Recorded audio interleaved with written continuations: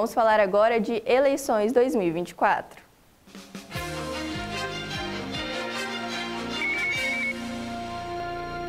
Vamos dar uma olhada nas agendas dos candidatos à prefeitura aqui de Alto Garças. Lembrando que os dados são informados de acordo com a equipe de cada candidato. Aqui mencionamos os nomes por ordem alfabética. Vamos começar com a candidata Angelita Amorim que pela manhã realizou caminhada. À noite, às 19 horas, realizar comício na Avenida Segueira Campos, esquina com a Rua Fernando Correia da Costa, esquina com o Bar da Joelma. Já o candidato Júnior Pirtuxa, pela manhã, pela manhã, realizou gravações no comitê.